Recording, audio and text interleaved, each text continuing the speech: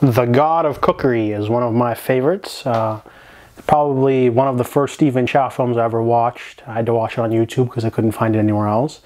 But it's basically, uh, he plays Stephen Chow, the God of Cookery. He is basically a very, he's like Gordon Ramsay sevenfold. He's good at cooking supposedly, but he shits on everyone else's food.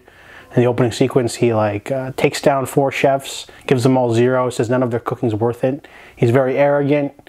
He treats everyone like crap and uh, but he's the god of cookery, so people respect him until he's taken down by a rival competitor.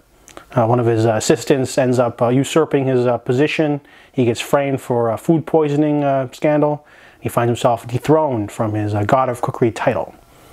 So what does he to do? he goes to a night market type space and eats some assorted noodle. Doesn't like it, gets beat up, and he meets Sister Turkey. She's a very uh, plain, ugly looking woman who's a part one, one part gangster, one part uh, food vendor who gives him a bowl of uh, barbecue pork on rice, giving him his strength back. He gets involved with a turf war and he comes up with a revolutionary food idea.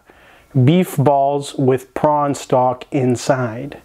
And they're so elastic and bubbery that you play ping pong with them and they explode in your mouth. And according to one character, it's better than the first time you made love.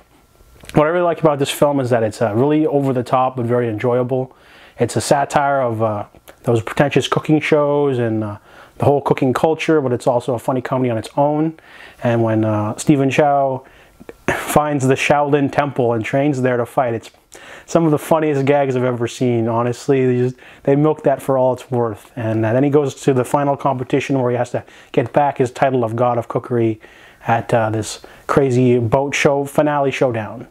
So uh, I recommend The God of Cookery.